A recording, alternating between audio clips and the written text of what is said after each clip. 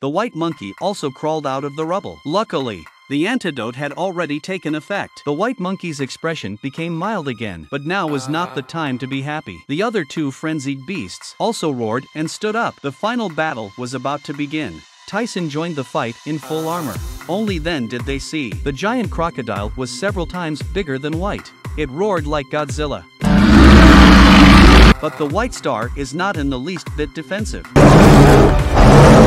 When the crocodile pounced on him, he used the advantage of intelligence, grabbed the steel pipe and hit it hard. Just finished the giant crocodile. The giant wolf attacked again from behind. After a physical struggle, the gorilla grabbed the giant wolf and threw it out hard. Unexpectedly, the white wolf had grown wings. He landed on the ground steadily. Tyson was stunned. The gorilla soon ran out of energy. The giant wolf was biting him to death. Tyson was anxious. The beast behind him woke up.